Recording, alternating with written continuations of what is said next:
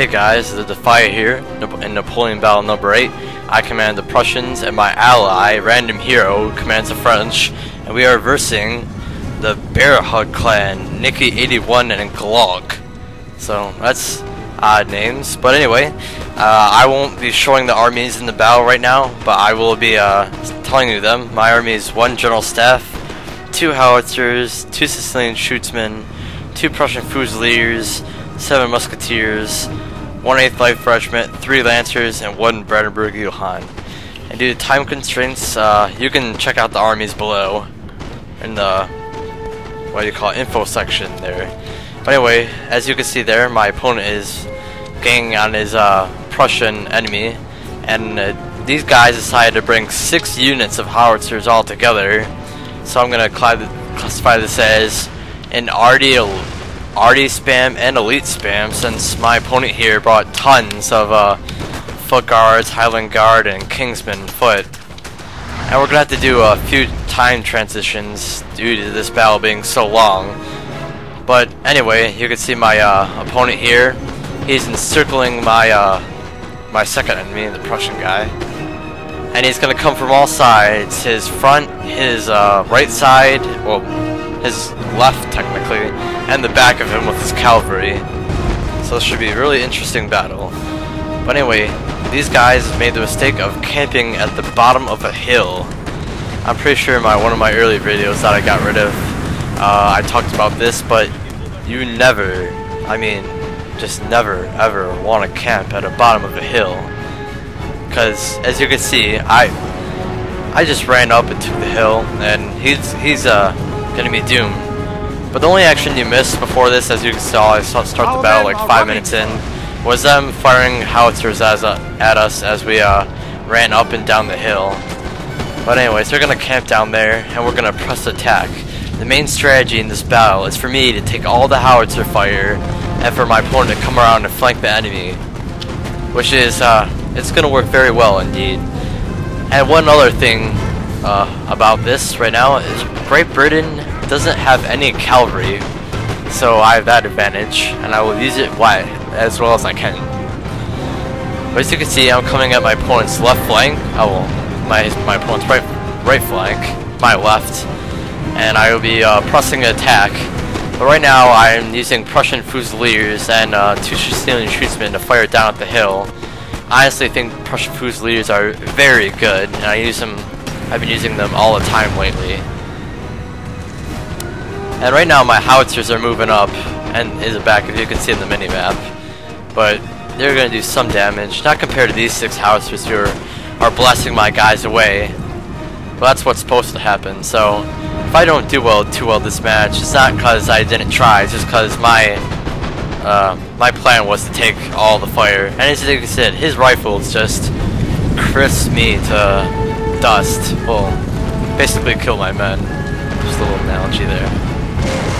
As you can see, he's uh, pounding me with some grape shots there, or canisters you like to call it.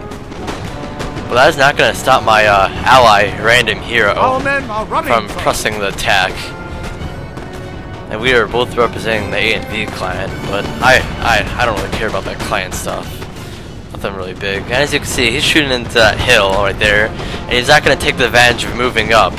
So I'm just going to sit here up on this hill and shoot down for a while and uh, hopefully hold him off long enough or even destroy him and uh, use my cavalry to my advantage even though he has tons of elite guards as you can see these uh, cavalry have been running a long time they're pretty tired but we're gonna watch this uh, lots of gunfire and stuff so let's see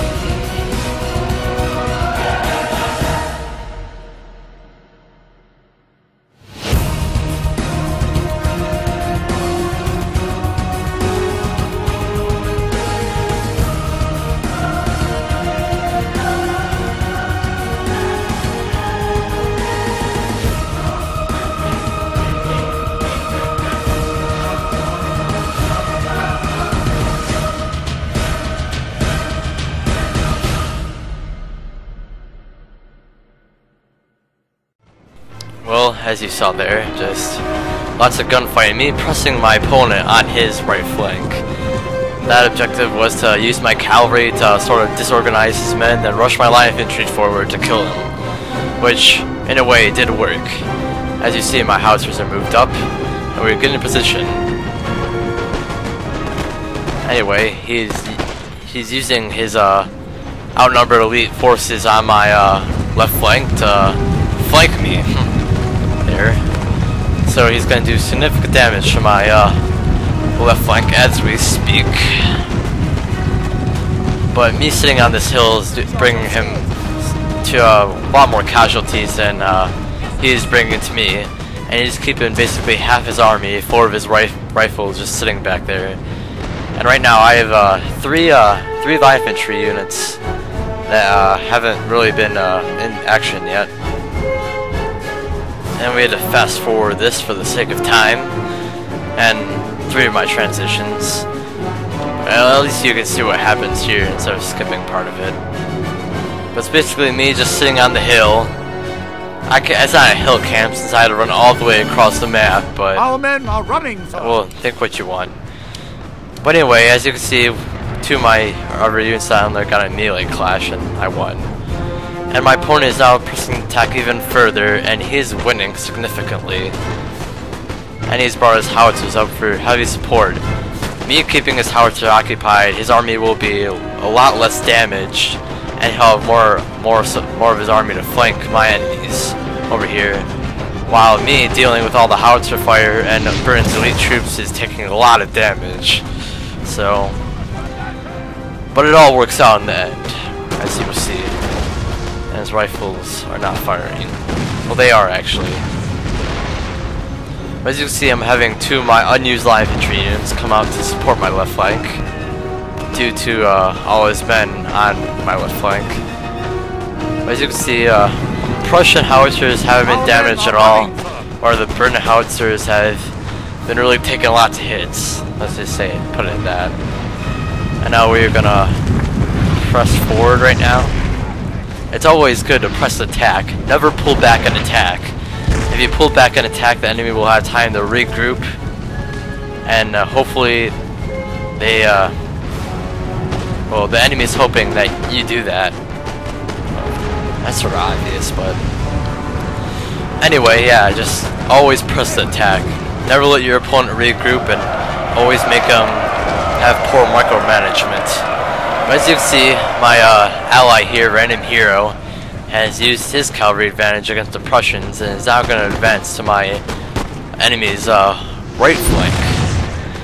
And let's go over the main strategy in, this battle. First, we saw that our opponents had uh, tons of artillery and lots of elite troops, so and they were camping at the bottom of the hill, so we decided to charge them and the strategy was for me to take all the howitzer fire and have uh, my ally Random Hero come around and flank the enemy. This worked significantly. Second, we used our cavalry to our advantage since they only brought one cavalry unit. And third, mostly, overall, they just camped at the bottom of the hill. And who does that? Apparently these guys. But anyway, I hope you all enjoyed this enjoyed this battle, and I hope these uh, strategies might help you later. And I hope you guys like this uh, dual channel of uh, me and Cadence. And uh, I'll, I'll be posting all my videos up, up on here now. So uh, glad you guys decided to watch and uh, I'll see you guys later.